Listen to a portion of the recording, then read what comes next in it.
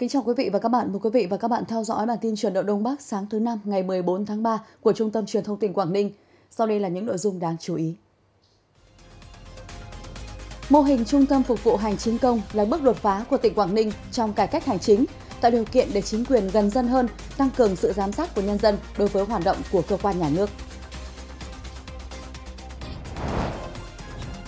Thành phố Hải Phòng đẩy mạnh triển khai hóa đơn điện tử đối với hoạt động bán lẻ xăng dầu, tạo môi trường kinh doanh bình đẳng, thuận lợi, bảo vệ lợi ích của người tiêu dùng.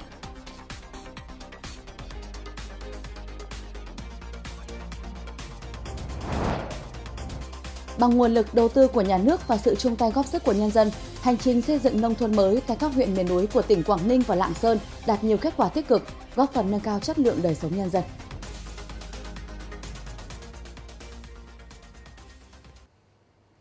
Thưa quý vị và các bạn, năm 2014, Quảng Ninh đã thành lập và đưa vào vận hành mô hình Trung tâm Phục vụ Hành chính công tỉnh. Đến nay, sau 10 năm, mô hình này thực sự là bước đột phá đi đầu cả nước trong cải cách hành chính, tạo điều kiện để chính quyền gần dân hơn, phát huy quyền dân chủ, tăng cường sự giám sát của nhân dân đối với hoạt động của cơ quan nhà nước, góp phần cải thiện môi trường đầu tư kinh doanh trên địa bàn.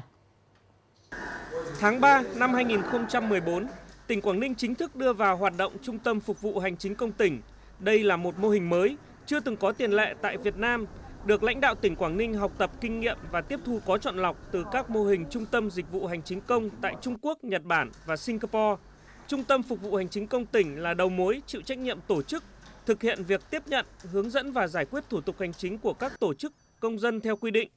Tất cả các sở ban ngành sẽ cử cán bộ có thẩm quyền tới trung tâm và hồ sơ sẽ được tiếp nhận, thẩm định và phê duyệt tại chỗ, đảm bảo rõ người, rõ việc, rõ thời gian cho từng bước, từng quy trình. Thời gian giải quyết thủ tục hành chính được ra soát, cắt giảm từ 40 đến 60% thời gian giải quyết so với quy định của Trung ương.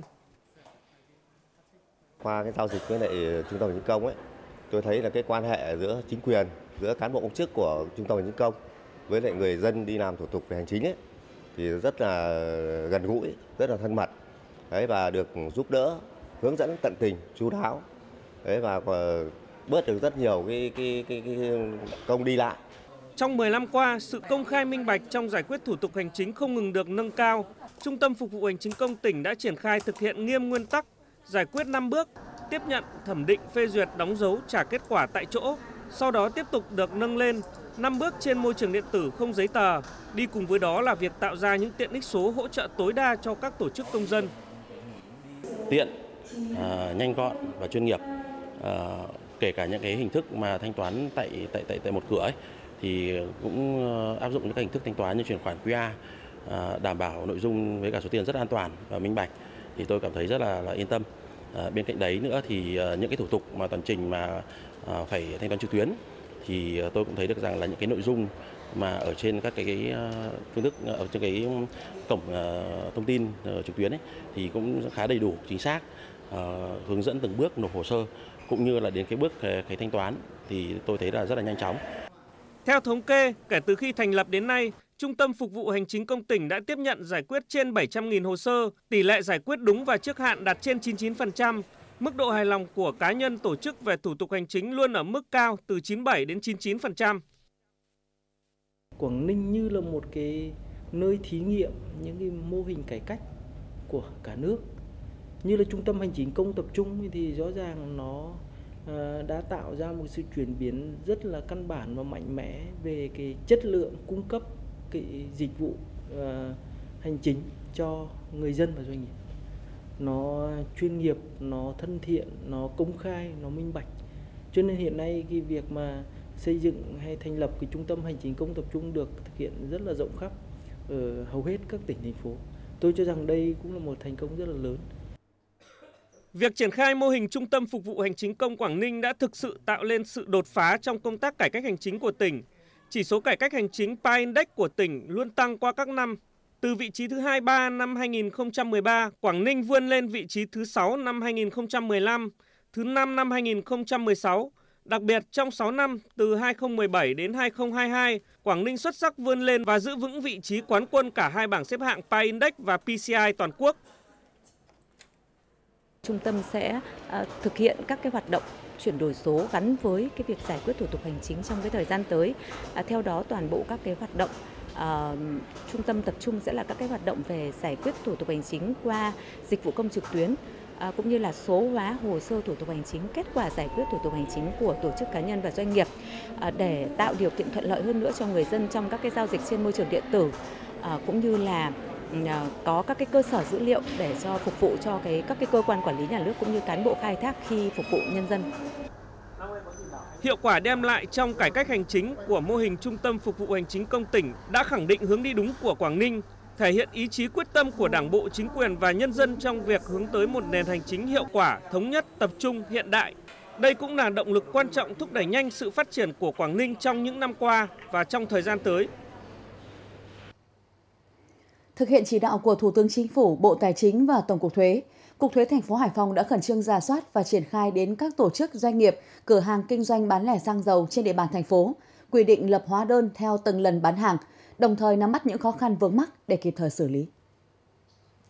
Ngay sau khi có chỉ đạo của Cục Thuế, Chi cục Thuế khu vực Lê Trân Dương Kinh khẩn trương giả soát tuyên truyền tới các doanh nghiệp, cửa hàng kinh doanh xăng dầu trên địa bàn về lợi ích của việc xuất hóa đơn theo từng lần bán hàng và kiểm soát việc sử dụng hóa đơn của các đơn vị này. Đến nay có 10 trên 10 doanh nghiệp và 62 trên 74 cột bơm xăng dầu thực hiện. Tại công ty trách nhiệm hữu hạn Phú Khánh, qua một thời gian tiến hành việc xuất hóa đơn từng lần bán hàng, doanh nghiệp đã chủ động lưu trữ được dữ liệu bán hàng, phục vụ quản lý các hoạt động kinh doanh, rút ngắn thời gian xuất hóa đơn cho người tiêu dùng khi cần. Đối với người hóa đơn bán lẻ thì ờ, họ nhu cầu thì mình chỉ cần rất một cái thao tác rất là đơn giản. Ờ, mình bấm một cái là mình in mình đưa cho khách hàng được ngay. Còn với những khách hàng nào mà lấy hóa đơn đấy thì nó cũng không rất mất nhiều, nhiều thời gian rất nhanh thôi. Vì là tất cả các dữ liệu nó đã có xong hết ở trong cái hóa đơn đấy rồi cho nên là mình thấy là ừ, làm cái này nó không có gì là khó khăn cả. Theo báo cáo của Cục Thuế thành phố Hải Phòng, trên địa bàn có 135 doanh nghiệp kinh doanh bán lẻ xăng dầu, tương ứng với 272 cửa hàng và 957 cột bơm. Đến ngày 7 tháng 3 có 132 trên 135 số lượng doanh nghiệp đã đăng ký triển khai hóa đơn điện tử từng lần bán hàng, đạt 98%. 269 cửa hàng và 933 số cột bơm đã triển khai. Hành trình xây dựng nông thôn mới hơn 13 năm qua tại huyện miền núi biên giới Bình Liêu là những nỗ lực cố gắng không ngừng của tỉnh Quảng Ninh với những chính sách đúng trúng và sự tham gia tích cực của người dân chính quyền địa phương. Từ địa bàn giao thông chia cắt đi lại vô cùng khó khăn giữa các thôn bản đã kìm nén sự phát triển. Đến nay, những con đường nhựa đã kết nối đến tất cả các thôn bản, dù ở xa trung tâm nhất, mở ra cánh cửa phát triển kinh tế, làm giàu cho mọi nhà.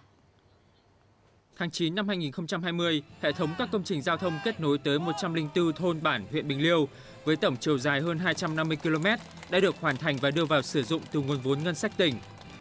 Đây là công trình có tính nhân văn sâu sắc, đáp ứng mong mỏi của nhân dân, phát huy vai trò trách nhiệm của các cấp ủy đảng, chính quyền, đoàn thể, từ tỉnh đến cơ sở với nhiệm vụ phát triển kinh tế xã hội vùng dân tộc thiểu số.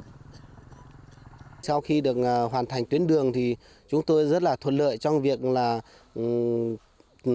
lên chăm sóc hồi cũng như thu hoạch hoa hồi cũng như là một số nông sản của bà con làm được thì là có tuyến đường để đi không như ngày xưa thì cũng đường trơn trượt thì vào mùa mưa thì rất là khó khăn trong việc đi lại cũng như là đưa con em mình ra trường. Các nghị quyết chính sách của tỉnh được ban hành nhưng nghị quyết 06 luôn xác định ưu tiên nguồn lực cho mục tiêu chiến lược là đầu tư hạ tầng giao thông mới cho vùng khó trong đó có huyện Bình Liêu. Cuối năm 2023, công trình cải tạo nâng cấp đường liên xã Húc Động, Đồng Văn, Ca Ba Lanh kết nối đến quốc lộ 18C đi qua ba xã Húc Động, Hoành Mô và Đồng Văn với chiều dài trên 43 km tiếp tục được đưa vào sử dụng. Giúp cho bà con của các thôn bản xã Húc Động đi lại thuận tiện. Thứ nhất, cái thứ hai là giúp cho bà con à, giao lưu phát triển văn hóa và cái thứ ba là giúp cho bà con phát triển kinh tế xã hội đặc biệt là đối với húc động là rừng chiếm trên 3 phần 3 3 à, phần 4 diện tích cho nên là à, những cái năm gần đây thì lâm nghiệp có phát triển và đặc biệt cây hồi cây quế nhựa thông thì tuyến đường này giúp cho bà con vận chuyển hàng hóa để phát triển. Bây giờ thì cũng đi lại cũng thuận tiện. À, ngày xưa thì rất là khó khăn qua cái cái suối này là toàn là nước lũ đến mùa thì ờ, lũ đi lại cũng ách tắc. Trong quá trình thực hiện chương trình xây dựng nông thôn mới, với sự quan tâm chỉ đạo lãnh đạo sâu sắc của tỉnh, Bình Liêu đã chủ động sử dụng hiệu quả các nguồn lực ngân sách và nguồn lực xã hội để phát triển hạ tầng giao thông. Mỗi con đường đều là nỗ lực của tỉnh và địa phương trong việc từng bước đưa những ước vọng của nhân dân thành hiện thực. Đi lại rất là thuận tiện. Còn à, trước kia là chưa có thì à, đi vòng này, xong là nước mà lũ lụt thì đi vòng đường là cắp đường bắc phê trên kia bây giờ có là đi lại, đi muộn một tí cũng được, đi rất là thuận tiện những con đường nông thôn mới đã mở ra cơ hội để thay đổi đời sống, tạo điều kiện thuận lợi để người dân tự vươn lên thoát nghèo bền vững. Đây còn là minh chứng cụ thể cho ý chí quyết tâm của tỉnh Quảng Ninh trong thực hiện mục tiêu mọi người dân đều được thụ hưởng thành quả phát triển, xây dựng nền văn hóa giàu bản sắc gắn với thu hẹp nhanh khoảng cách giàu nghèo và chênh lệch vùng miền trong tỉnh.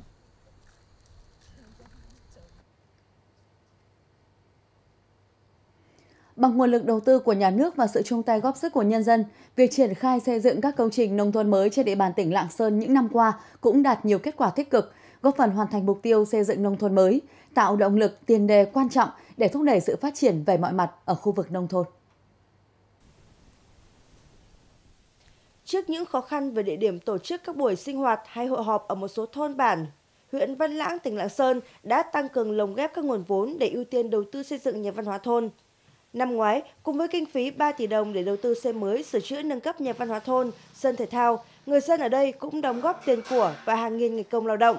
Đến hết năm vừa qua, toàn huyện có 158 trên 161 thôn có nhà văn hóa, qua đó đã góp phần nâng cao chất lượng hiệu quả tuyên truyền đường lối chủ trương của Đảng, chính sách pháp luật của nhà nước đến nhân dân, đồng thời tăng cường các hoạt động văn hóa, văn nghệ, thể dục thể thao trong quần chúng. 13 trên 13 thôn thì cũng đã À, đáp ứng được về cái điều kiện tổ chức các cuộc à, hội họp của thôn để triển khai những cái nội dung công việc hỗ trợ cho nhân dân rất là nhiều trong những khâu hội họp và tổ chức những cái hoạt động văn hóa văn nghệ à, cho bà con nhân dân cũng như là các cháu thiếu nhi.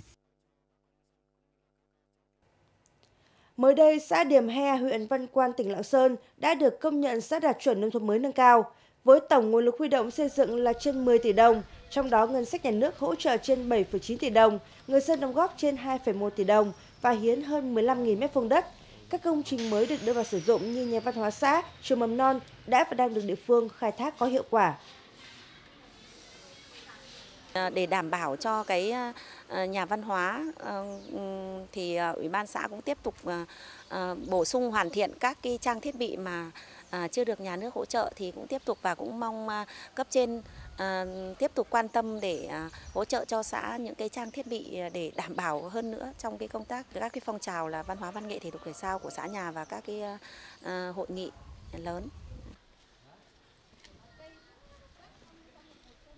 Trong giai đoạn từ năm 2021 đến năm 2023, ngân sách nhà nước hỗ trợ thực hiện chương trình xây dựng nông thôn mới trên địa bàn tỉnh Lạng Sơn là 1.187 tỷ đồng.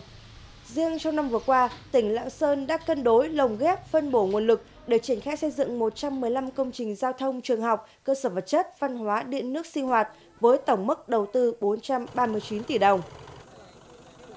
Tôi thấy là một cái điều trong tâm tôi là quê hương là rất là là là thay đổi và làm cho tôi ấm lòng đó là cái sự thay đổi lớn của cái xã Mai Sao nói riêng và mảnh đất Lạng Nắp của chúng tôi sinh sống ở đây nói chung à, thì chúng tôi thấy rằng là thay đổi thay ra đổi thịt rất là nhiều nhà cửa uh, của khu dân cư ở đây là rất khang trang. Để thực hiện tốt các dự án thì huyện đã thực hiện lồng ghép có hiệu quả các cái nguồn lực từ các, các cái chương trình mục tiêu quốc gia như là chương trình mục tiêu quốc gia xây dựng nông thôn mới, chương trình mục tiêu quốc gia uh, phát triển kinh tế xã hội vùng đồng bào dân tộc thiểu số và miền núi và chương trình mục tiêu quốc gia xây dựng giảm nghèo bền vững cũng như là nguồn vốn ngân sách huyện và huy động xã hội hóa từ người dân để tổ chức triển khai thực hiện. Những con đường mới, những nhà văn hóa, trạm y tế, trường học khang trang và nhiều những công trình nông thôn mới khác trên địa bàn tỉnh Lạng Sơn đã và đang được đầu tư xây dựng sửa chữa, từng bước mang lại diện mạo mới, giúp các vùng quê ở đây ngày càng sáng, xanh, sạch đẹp, góp phần thúc đẩy kinh tế xã hội tại các địa phương trên địa bàn tỉnh Lạng Sơn phát triển, hướng tới xây dựng nông thôn mới đi vào chiều sâu và bền vững.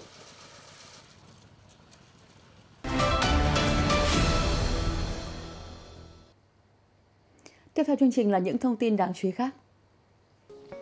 Theo thống kê của Bộ Công Thương, xuất khẩu rau quả Việt Nam sang các thị trường khó tính như Hoa Kỳ, Hàn Quốc, Nhật Bản đã tăng trưởng mạnh mẽ. Riêng đối với Trung Quốc, vẫn là thị trường nhập khẩu rau quả lớn nhất của Việt Nam, đạt giá trị 3,4 tỷ đô la Mỹ, chiếm tới 65% thị phần. Trong đó nhờ xuất khẩu sầu riêng tăng đột phá vào năm 2023 đã khiến Việt Nam vượt Chile trở thành quốc gia đứng thứ hai về kim ngạch xuất khẩu rau quả sang Trung Quốc. Theo Viện Nghiên cứu Quản lý Kinh tế Trung ương, Việt Nam nằm trong top 3 nền kinh tế đang phát triển xuất khẩu hàng hóa sáng tạo hàng đầu với 14.153 triệu đô la Mỹ. Các ngành kinh tế sáng tạo gồm có thủ công mỹ nghệ, thời trang và thiết kế, nghệ thuật ẩm thực, nghệ thuật biểu diễn, nghệ thuật tạo hình, phim và truyền thông, công nghệ thông tin và kỹ thuật phần mềm. Trong đó nhân tố hỗ trợ kinh tế sáng tạo tại Việt Nam là dân số trẻ, hiểu biết về công nghệ, chính sách tạo thuận lợi của nhà nước, di sản văn hóa phong phú, quá trình số hóa diễn ra nhanh chóng và tăng cường hội nhập với kinh tế toàn cầu.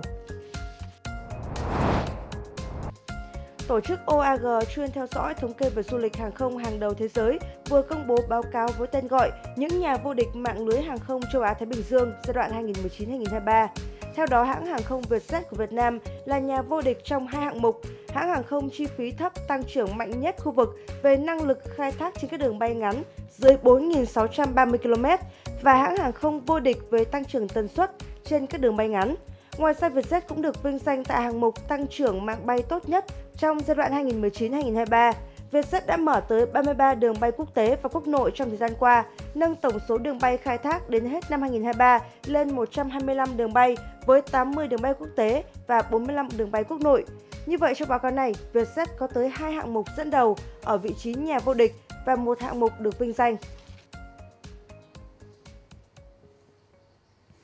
Khoảng 5 năm trở lại đây, cứ vào dịp tháng 2 và tháng 3, khi bưởi đào thanh hồng ở huyện Thanh Hà, tỉnh Hải Dương nở hoa rộ, cũng là lúc người trồng bưởi ở đây lại làm công việc xe duyên như những ông tơ bà Nguyệt giúp hoa thụ phấn với mong muốn có vụ thu hoạch bội thu.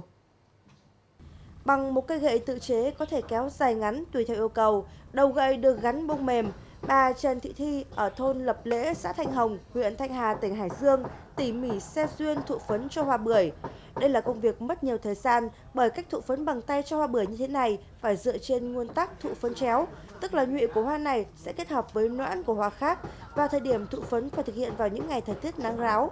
Vì nếu thời tiết mưa và lạnh sẽ dễ gây nấm rụng hoa hoặc hoa không bắt phấn hoặc nếu thời tiết quá nóng cũng dễ gây héo hoa, khả năng đậu quả thấp. Nếu mà thụ được thì nói chung là nó quả nó đẹp hơn là không thụ còn nếu mà không thụ được thì quả nó nhẹ mà nó, vỏ nó sần sùi với diện tích hơn một mẫu trồng bưởi, từ giữa tháng 2 gia đình ông Trần Văn Dũng cũng đã tiến hành thụ phấn cho gần 30 cây bưởi do việc tác động thụ phấn sớm nên tỷ lệ đậu quả đã đạt từ 90 đến 95%. Hơn 30 cây còn lại sẽ được thụ phấn khi cây nở hoa và thời tiết thuận lợi. Thực ra chủ yếu là mình làm sớm để tránh cái thời tiết mưa lòm ẩm, mưa rồi mưa đầu xuân thì nó mưa độc mưa hại nó sương mai sương muối nó nhiều. Thế tỷ lệ đậu quả nó thấp thế nên mình, mình làm sớm. Cái cái thứ nhất như thế mà cái thứ hai nữa là thực ra cái diện tích bưởi mình mẫu thì nó 60 cây nó hơi nhiều. Thế là mình làm này cũng bố trí để dàn việc ta để hai vợ chồng chỉ nhân được chỉ hai vợ chồng thôi. Thế là cũng phải loạt làm sớm nào là muộn. Thế mà cũng kết hợp là có là sớm thì sau này chẳng hạn là cái thương lái về sớm thì có loạt sớm mình bán đầu mùa bao giờ cũng được giá hơn từ khoảng 5 năm trở lại đây, việc thụ phấn cho hoa bưởi hay còn gọi với cái tên là xe duyên cho bưởi được người dân vùng trồng bưởi đào Thanh Hồng, huyện Thanh Hà, tỉnh Hải Dương nhân rộng. Cùng với việc hoa được thụ phấn tự nhiên nhờ vào những đàn ong bướm, công việc xe duyên của người dân nơi đây đã làm tăng thêm khả năng đậu quả của hoa, nâng cao sản lượng thu hoạch. Thực hiện thụ phấn thì mang lại cái năng suất rất cao. Quả có mình mà có thể lấy cái dòng bưởi mà nó khác dòng đi thì năng suất nó sẽ cao hơn với cái loại cùng dòng với nó như cái chất lượng của bưởi đào. Tụ phấn bưởi đào thì quả nó sẽ không đạt hơn mà, mà sẽ lấy cái bưởi khác dòng như bưởi trắng. Sang thì cái quả bưởi nó sẽ to hơn. Mà đặc biệt bưởi thụ phấn thì ăn vào nó sẽ giòn hơn là cái bưởi mình để tự tự nhiên. Năm 2023 vừa qua, sản lượng bưởi đào ở địa phương này đạt khoảng 2.200 tấn, mang lại giá trị khoảng 30 tỷ đồng. Đây cũng là sản phẩm nông nghiệp duy nhất của xã Thanh Hồng, huyện Thanh Hà, tỉnh Hải Dương đã được cấp chứng nhận đạt ô cốp 3 sao. Năm 2024, thành phố Hạ Long, tỉnh Quảng Ninh sẽ dành 150 tỷ đồng cải tạo chỉnh trang đồi Đặng Bá Hát thuộc hai phường Hồng Gai và Ít Kiêu thành công viên cây xanh, tuyến phố đi bộ. Theo phương án thiết kế, thành phố Hạ Long sẽ tiến hành cải tạo lại khu vực này theo hướng hiện đại, kiến trúc cảnh quan khu vực hài hòa với không gian xung quanh, đồng thời tạo nên hình thái kiến trúc riêng. Lấy tuyến đường Đặng Bá Hát và năm trục đường bộ từ các ngõ là xương sống phát triển về cảnh quan và đô thị. Hiện thành phố đang tiến hành lập dự án quy hoạch cải tạo, chỉnh trang khu dân cư, các khu cây xanh và công viên, cảnh quan dọc tuyến đường Đặng Bá Hát, xây dựng một số biểu tượng làm điểm nhấn kết hợp với đường ờ, đường dạo, điểm check-in cho khách. Dự kiến dự án được hoàn thành và đưa vào sử dụng từ cuối năm nay. Các bác sĩ Bệnh viện Bãi Cháy Quảng Ninh vừa phẫu thuật thành công lấy toàn bộ khối sarcoma sụn ác tính hiếm gặp, giúp cho bệnh nhân thoát nguy cơ cắt cụt chi, cải thiện vận động và chất lượng cuộc sống. Trước đó, khoảng một năm, bệnh nhân phát hiện khối u vùng đùi phải và được phẫu thuật cắt u hai lần. Tuy nhiên gần đây, khối u lại tiếp tục phát triển, gây đau đớn và khiến bệnh nhân không thể đi lại. Sau khi tiếp nhận bệnh nhân, các bác sĩ Bệnh viện Bãi Cháy đã hội trần liên khoa đánh giá toàn diện, kỹ lưỡng và quyết định vẫn phẫu thuật bóc tách khối u để bảo toàn chi cho bệnh nhân. Đây là một ca phẫu thuật khó bởi phẫu thuật viên phải đảm bảo vừa bóc tách được triệt để khối u, vừa không gây ảnh hưởng tới chức năng vận động của bệnh nhân. Sau mổ, bệnh nhân sức khỏe ổn định, hết đau và có thể co duỗi đi lại bình thường. Bản tin chuyển động Đông Bắc sáng nay của Trung tâm Truyền thông tỉnh Quảng Ninh kết thúc tại đây. Cảm ơn quý vị đã quan tâm theo dõi. Xin kính chào và hẹn gặp lại.